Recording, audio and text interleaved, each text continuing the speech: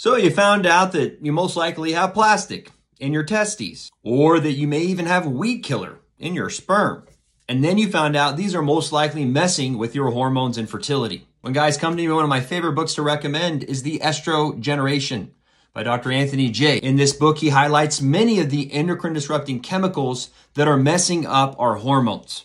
So when a guy comes to me at 35 and he has a total testosterone of 200 and says, how is this possible, doc? I eat well, I exercise, I sleep. I even take these herbs and supplements that are supposed to boost my testosterone. I explain that many of these endocrine disrupting chemicals can be to blame. And so I highlight you're basically already on a form of hormone replacement therapy. These synthetic and artificial things in our environment are already impacting your hormonal system. And that's ultimately why in some younger guys, we actually use pharmaceutical interventions to help get their levels optimal because there's so many things in the environment that are fighting against them. Again, there are things that we should be mindful of. There are side effects, fertility,